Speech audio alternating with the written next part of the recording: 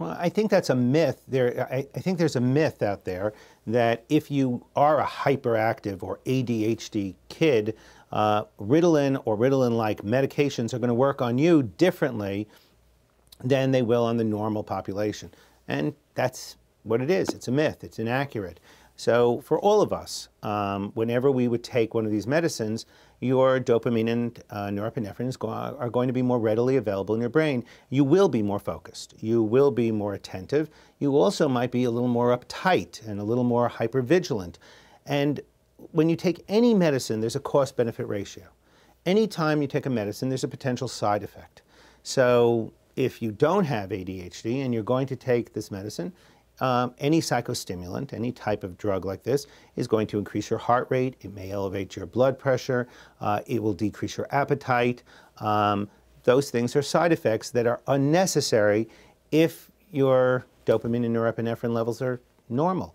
Um, in the same way that if you take too many aspirin, it will thin your platelets, which might be good, but might be bad. And if you take too much aspirin, you can actually get an ulcer. So um, this is something that every time you get prescribed a medicine, a doctor is thinking about what the cost-benefit ratio is.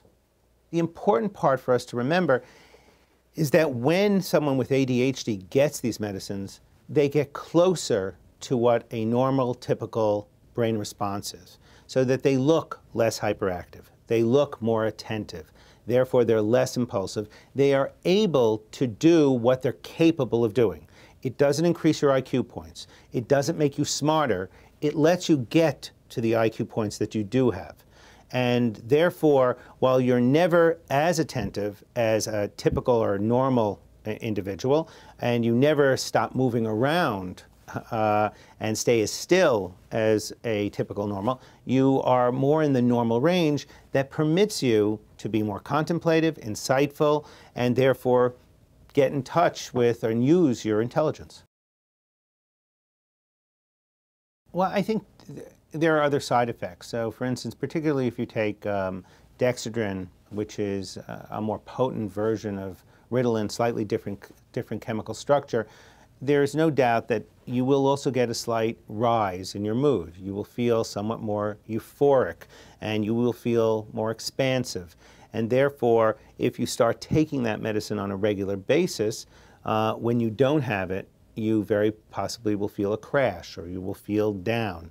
Um, and therefore, that's the potential side effect um, that can be quite serious that you become used to it or become uh, almost addicted to the sensation of feeling good um, when it's not necessary to cause you to focus or you don't need it for uh, extended attention.